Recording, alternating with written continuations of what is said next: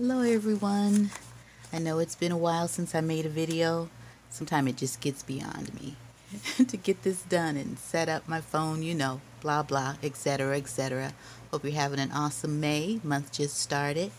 Anyway, I just finished my chunkiest, biggest journal ever. Even though I've only been doing this for a couple of years. Um, this was a crossword puzzle book with a spiral bound spine that I covered with fabric, which came out so chunky and just so delicious, if you will. And that's the front cover. That's the back cover. And now we'll get through the flip through with limited narration unless, you know, there's something I want to share. But thank you so much for watching. Enjoy.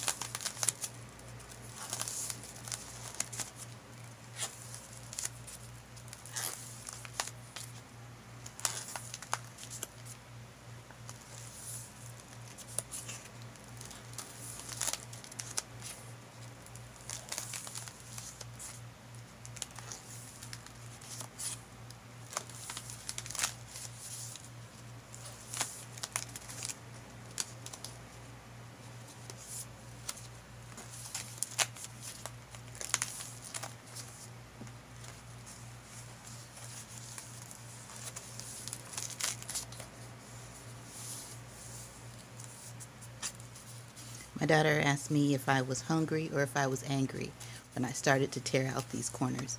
And no, she's not a child. She's a grown woman.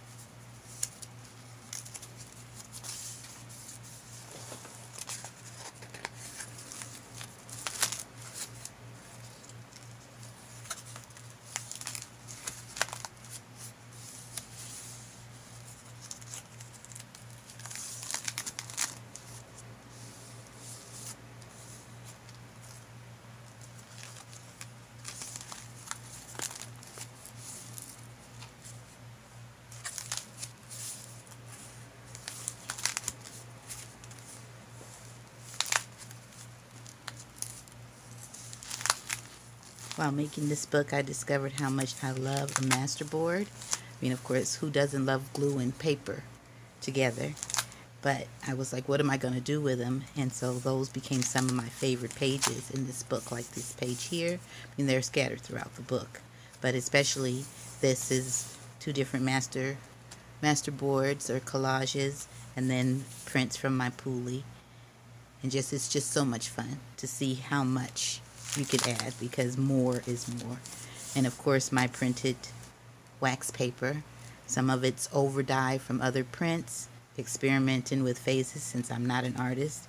It's a it's implied that it's a face. But anyway, I love saving this paper and just putting it everywhere.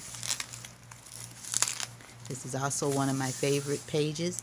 Most of the pages I didn't seal down with Mod Podge, but the ones that I did, I think add a really nice shine, little burst of shine and shimmer where I did add them in. Like I said, this book took me a little over eight months, turned out to be 86 pages. This book originally had about 250 pages in it, so some I tore out to save, most I glued together. But it still came out to be just an awesome size. If I did this again, I think I would glue together a few less pages so it would be even thicker once it got all embellished.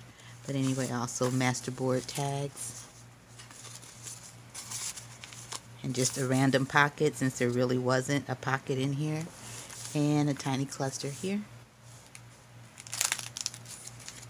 And of course, IKEA is my favorite catalog to use the graphics out of, so IKEA is what's throughout this book and then some tracing on tracing paper It's like this book just allowed me to use every technique I thought I saw anywhere, so it was really fun. I can't wait to do another one. Of course, magazine pages. This one's not Mod Podge. That's why it's so matte, but I think I'm going to leave it just like this. And of course, you can tell the difference with the Mod Podge pages with a little bit of shimmer and shine.